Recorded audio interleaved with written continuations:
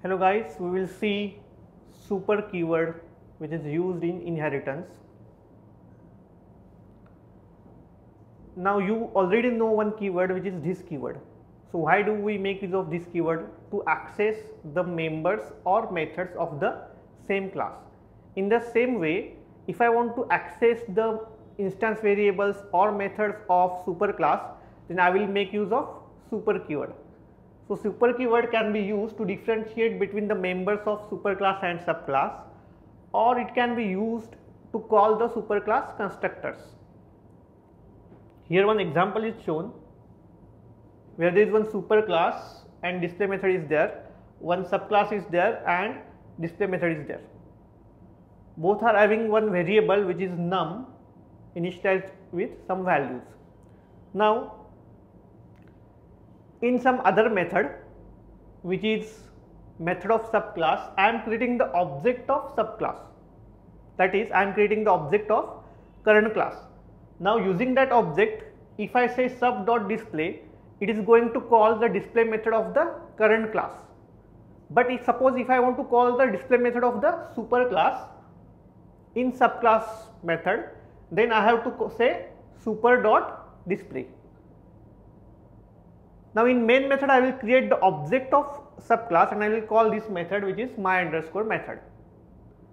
So if you understand this code you will come to know how do we differentiate between the attributes of superclass and subclass using the super keyword. So we will implement this program practically. This is the demonstration for super keyword in Java. For this demonstration I have implemented classes like I have superclass. In superclass I have one variable num and I, I have one method display. Subclass is there, subclass is extended from superclass. It is also having num variable and display method. That means display method is overridden. Subclass is having one more method which is my underscore method in which I am creating the object of subclass here and using that object I am calling the display method so it will call the current class display method if I want to call the superclass display method, I have to make use of super.display syntax. After that, I am printing the values of num variable using sub.num and super.num. So this will print current class num variable, it will print superclass num variable.